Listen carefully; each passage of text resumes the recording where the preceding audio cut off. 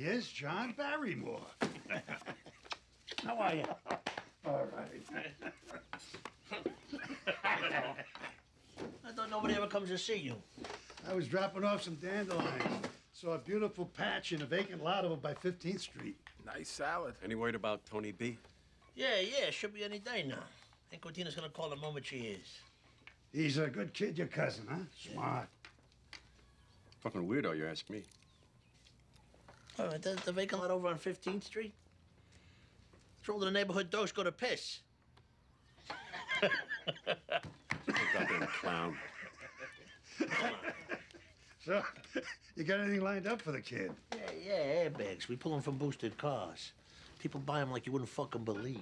Hey, legit dealers, body shops, they reinstall undeployed bags as new. Top dollar. Brave new world. Jesus Christ, they didn't even have shoulder belts when I went away. So you're gonna let me know when the kid gets out, huh? Yeah, we'll have a party for 'em. Ser benediga, I All right. love you. Okay. Figlio dell'amore.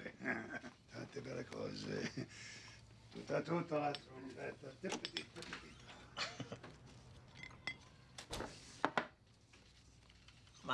Don't be so sensitive. I was being polite. It's like it's like eating red fescue. I'll take an egg. You want an egg? Bobby, make my nephew an egg. I don't want any.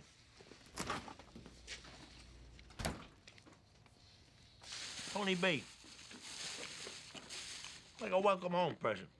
What's that, a Motorola? Hey, supposed to be the best. No, I figured he could use one. Call me when he needs me. All the fellas are getting out, huh? The class of 2004. Old rats on a new ship.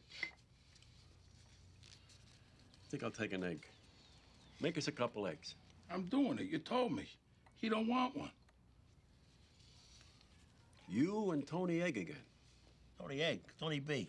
Like the time you two, you took that camera in the bathroom at your sister Barbara's confirmation. Hello? Oh, that's terrible. Where's he gonna be laid out? Oh, no. God damn it. Well, let us know. Carmine Lupertazzi. He passed during the night. What a fucking blow. He was a great man. My cousin told me it was Carmine who invented point shaving. CCNY versus Kentucky, 1951. Nobody beat the spread. I bought a black Fleetwood.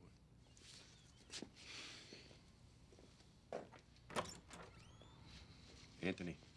Anthony, did I ever tell you I want to be cremated? About four times. And don't throw my ashes in somebody's yard or off some fucking bridge. I want to be on a mantelpiece surrounded by family. Under the head. I know. Keep joking. Let me tell you something. It's like that game we used to play as kids. Crack the whip. You run around like an idiot holding hands as tight as you can, and then the line snaps. Somebody lets go, and you're next.